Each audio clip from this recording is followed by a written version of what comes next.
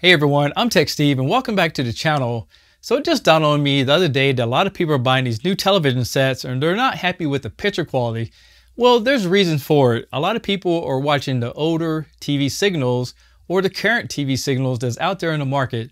So on this video, I'm going to show you guys the different ways that you can get 4K content on your television set. So sit back and relax and let's get started.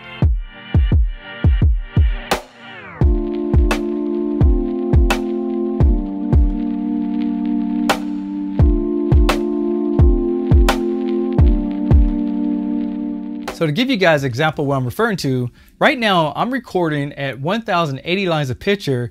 And if you have a larger 4K television that you're watching this on, you're gonna probably notice it's a little blurry when I expand this footage up to 4K. So let's go ahead and do that. There we go, that's better. Now the biggest problem is, is that if you have a TV set can do 4,000 lines of resolution, but you're only running a thousand lines through it, then you're losing part of the picture quality because it's been expanded. So a lot of companies are doing what they call up converting to basically help out with that signal. Now companies that broadcast over the air generally have a 720 line picture or 1080. So if you go out and buy a new television set, you're probably not going to get the benefits of it. So let me go and show you guys some ways that you can get this true 4K on your television set. So here's the first thing I was referring to. A lot of people have basic Netflix and for $9 a month you can watch it on one television and you can get standard definition and that generally means about 720 lines of picture.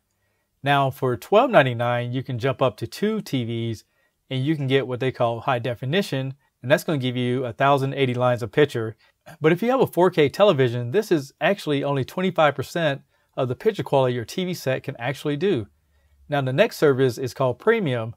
Now this is actually what you need to upgrade to, and I know it's almost double the price, but it lets you watch it on four devices, but it gives you the HDR and it gives you the 4K resolution that you need on most of your signals. In addition to that, I will tell you that it does support Dolby Vision.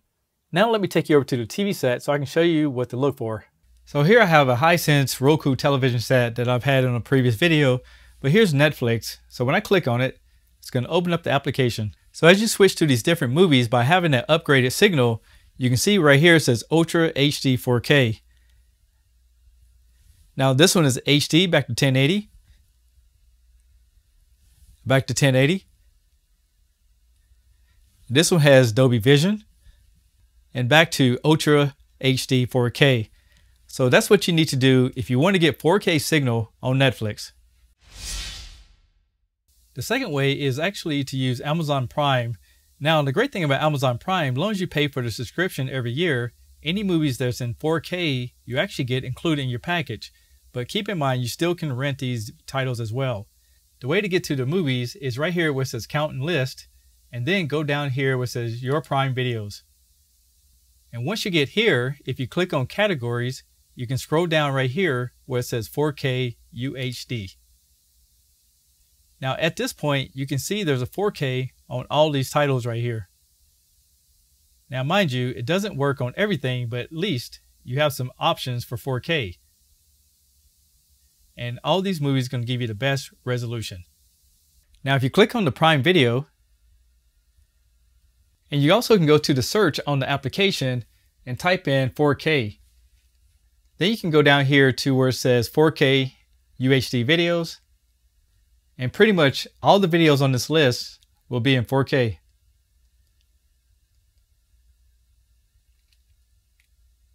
Let me show you a few more examples of what you can do to get 4K on your new television set.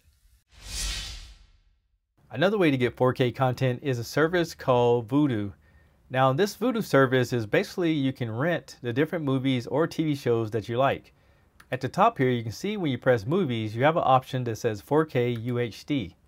And these will be all the different options that you can have based off of 4K content. And under new release dates, these are the most current ones. And you can see there's a rental price. For example, if you look at this one, this is $5.99 to rent it. Here's another one for $19.99. So the prices are not set. It's all based off of the popularity of the movie. You can also rent TV shows and you see you can do networks And there's also a selection of free movies, but I doubt if those are going to be in 4K. Or even sign in right here. And they do have applications that you can use as well. The next option you have is Hulu. Now I will tell you Hulu is very, very limited and it starts from $6 a month all the way up to $54 a month if you want live TV. Now when it comes to 4K, you can see they do have an option right here for 4K Ultra HD up to 60 frames per second. The only problem for me is that by looking at this, you assume that every single program has 4K, but that's not the case. It's a very selective few videos that has 4K capabilities. Also, if you want to do 4K, you must have 16 megabits per second internet access, and you also have to have one of these supported devices. And it's kind of odd that Samsung's not on this list, but LG is. Another way to watch 4K content is Sling TV, kinda. So if you go down here, you can see they have, like you can get $30 a month, you get the blue package, or you can do the orange package. But if you scroll down a little bit farther down the screen here, all I can see right here, it says high quality 4K streaming capabilities. Now, it doesn't tell you what channels are available, which networks are available. I wish they can distinguish what's the difference between what does 4K and what doesn't. Also, it has some compatible devices, and you can see right here under the FAQ, again, there's not much on 4K. When I see stuff like this, it makes me wonder if you get a new television set, is this the best programming to go with? Another way you can get 4K content is through DirecTV. Now, the great thing about DirecTV is that they're putting this right on their front page that we have 4K and that's pretty impressive because a lot of companies are hiding the fact if they do or they don't. If you're familiar with DirecTV, they actually have a lot of sports events, and these are actually recorded and played back in 4K as well. They even have a dedicated page showing you how to get 4K. As you can see here, they have on demand on channel 1104, and there's over 1,500 titles. And here's a list of the movies. You can also buy them on demand. They have documentaries, and they're pushing DC Comics right here as well. And here's another page showing their sporting events, but with everything going on in the world, unfortunately, it looks like they're going to lose out this year on some different programming. Now, there's a lot of other ways you can get 4K content, including Disney Plus, HBO Max. Also, you can get on Showtime, the YouTube channels, and many others. So, just kind of give you an idea of what to look for if you want to get 4K content. And you can also get 4K content on Xbox One, Xbox X, and you also can get it on the PlayStation Pro. So these are some other examples of how to get 4K content on a 4K television. You guys should now have a better understanding what to expect when you upgrade to a newer television set. And mind you, these old TV sets are actually native to the 1080 or 720 signals, so they may appear to look better than the new ones. But Time must move on and technology must move on. So what are you supposed to do? I'm TechSteve. Make sure you go check out one of these videos in the playlist below. Give me a thumbs up, subscribe to my channel, and I'll catch you guys on my next video.